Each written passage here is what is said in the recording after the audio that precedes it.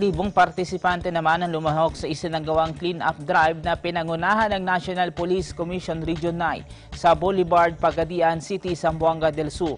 Ang nasabing aktibidad ay bahagi umano ng pagdiriwang ng National Crime Pre- Prevention Week. May detalye si Brian Galingiao.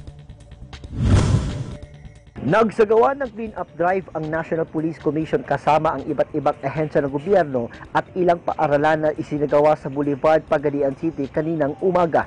Dinahukan ng halos isang libong partisipante ang isinagawang paglilinis sa inasabing lugar, partikular na ang Philippine National Police, Bureau of Fire Protection at ilang ahensya na sakop ng Department of Interior and local government sa nasabing lungsod. Kabilang din sa lumahok sa paglilinis ay ang ilang miyembro ng media at ilang mga estudyante sa Iliana Bayview College na hataw din sa pagwawalis at pagbubunot ng mga damo.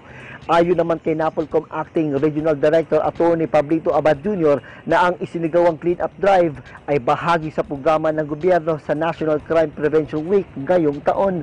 Dagdag din ni Abad na patuloy ang Napolcom sa pagsasagawa ng mga pamamaraan na para tuluyan nga mawala sa lipunan ang paggamit ng iligal na droga na sumisira sa buhay ng mga bawat Pilipino. Mula dito sa Pagadian City, Zamboanga del Sur para sa Eagle News, Brian Giliangao, I am one with 25.